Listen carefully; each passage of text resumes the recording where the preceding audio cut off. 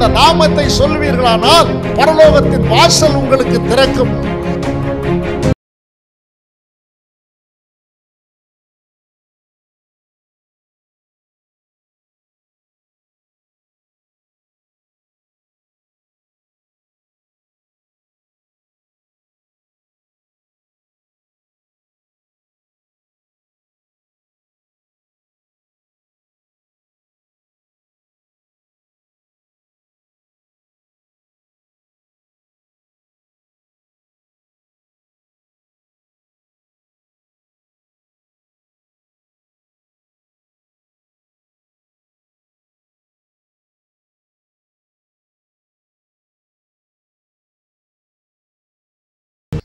நம்முடைய முன்னோர்கள் சாட்சி பெற்றார்கள் என்று சொல்லுகிற ஒரு சில சம்பவங்களை இன்றைக்கு எனக்கு நேரம் கிடைக்கிற பிரகாரம் உங்களோடு கூட பகிர்ந்து கொள்ளும்படியாக விரும்புகிறேன்.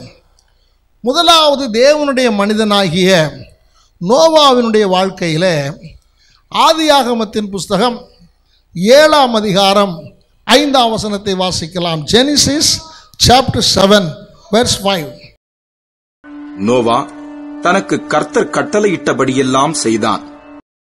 நாம் எல்லாரும் அறிந்த பிரகாரம் ஆதியிலே தேவன் மனுஷனை உண்டு பண்ணினார். மனுஷனுடைய இருதயத்தின் நினைவுகளெல்லாம் பொல்லாததாய் மாறியது. அப்பொழுது மனுஷனை நான் நிகிரகம் செய்வேன் என்று ஆண்டவர் முடிவு பண்ணினார். அவருடைய கண்கள் பூமி எங்கும் உலாவிக் கொண்டிருக்கும் பொழுது நோவாவையும் அவனுடைய குடும்பத்தாரையும் கர்த்தர் நீதிமானாக அந்த சமுதாயத்திலே பார்த்தார்.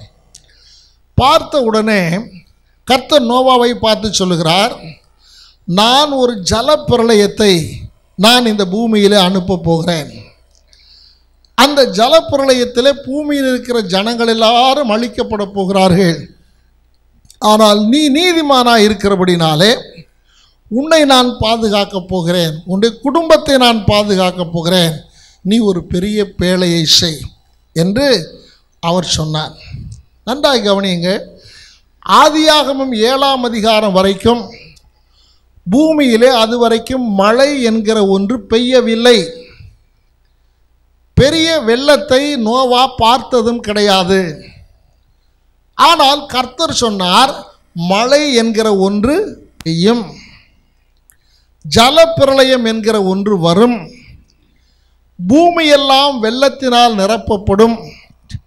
ஆகவே நீ ஒரு பேழையை செய்ய வேண்டும் என்று சொன்ன பொழுது நோவா தன் கண்களினால் காணாததை அவன் இதுவரைக்கும் பார்த்திராததை அவனுடைய அறிவுக்கு புலப்படாத ஒன்றை கர்த்தர் சொன்னதினாலே அவன் அதை அப்படி என்ன செய்தான்? விசுவாசித்தான்.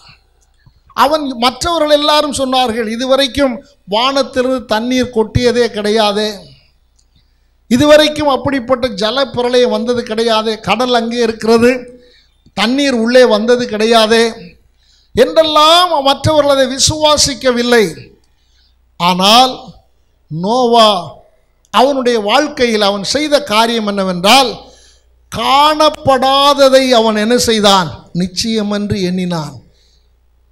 காரணம் என்ன தெரியுமா? அது காணப்படாததா இருந்தாலும் கர்த்தருடைய வார்த்தை சொல்லுமானால் காணப்படாததா இருந்தாலும் அதை நான் ஒத்துக்கொள்ளுவேன் என்று நோவா ஒத்துக்கொண்டான். உரலிலே சொல்லுவோமாம் அவன் அப்படி விசுவாசித்தபடினாலே அவன் தேவ மகிமையை கண்டான். ஒரு பெரிய பேழையை செய்தான். அவனுடைய குடும்பம் என்ன செய்யப்பட்டார்கள்? பாது பாதுகாக்கப்பட்டார்கள்.